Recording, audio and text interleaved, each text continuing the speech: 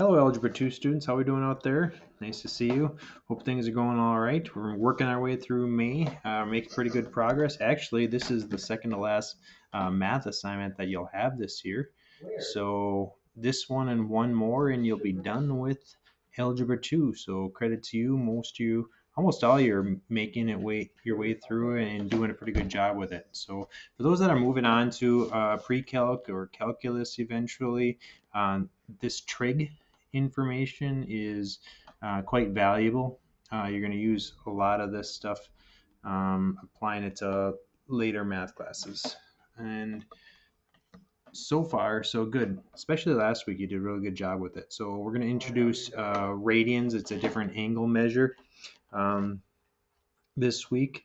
Um, before that, uh, I was talking to Cinderella the other day, and you know, what do what did she say? You might ask. What did she say when she, you know, she's been waiting for her senior photos all along, and they just aren't coming in the mail? And what is it that she said after all this?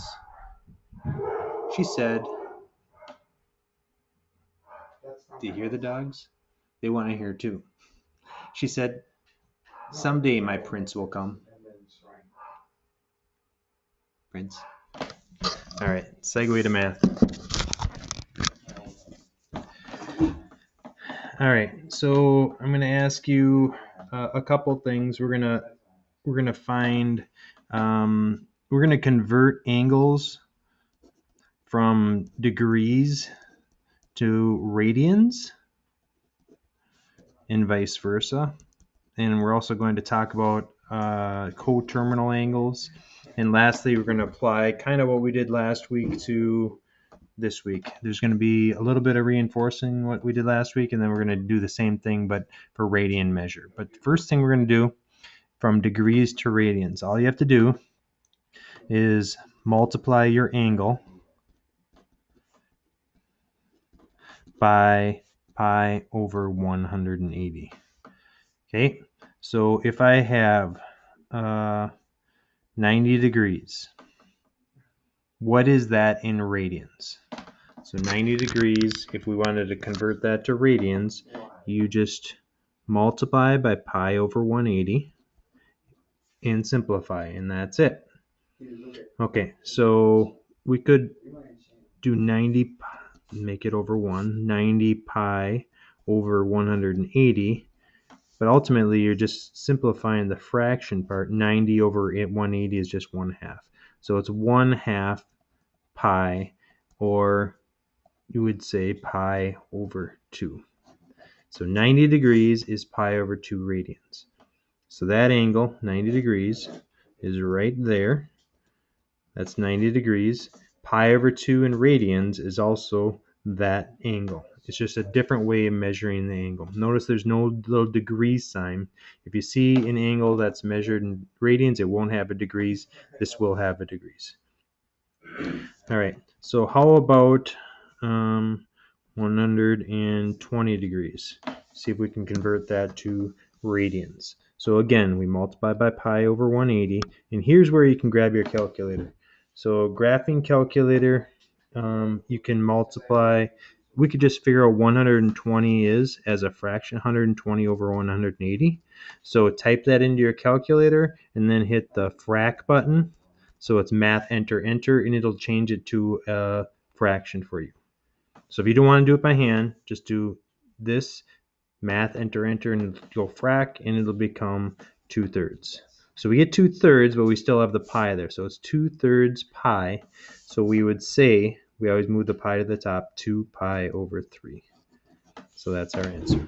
So you can rely on the calculator for going degrees to radians. Just ignore the pi and just do 120 over 180.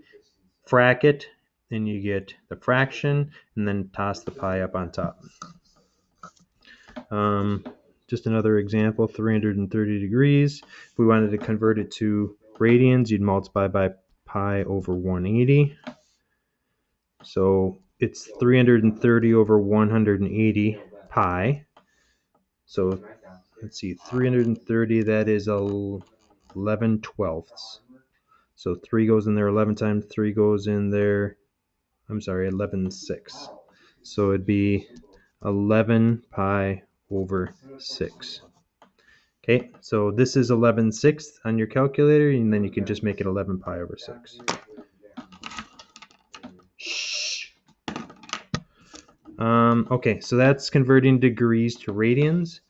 Um, you have to go the other way, so we're going to convert radians to degrees.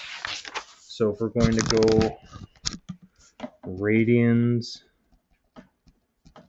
to degrees, then we would multiply by 180 over pi. Okay, so before we multiplied by pi over 180, now we're just doing 180 over pi. So example, if I have pi over 3 and I want to make that into degrees, so you'd multiply by 180 over pi. The pi's are going to cross off. 180 divided by 3 is 60 degrees. Okay, so another example. If I had 5 pi over 4, if I wanted to convert that, keep bumping it. If I wanted to convert that to degrees, you'd multiply by 180 over pi. Pi's cross off. 5 times 180 divided by 4 is, um, let's see, 180 plus 4, 225 degrees.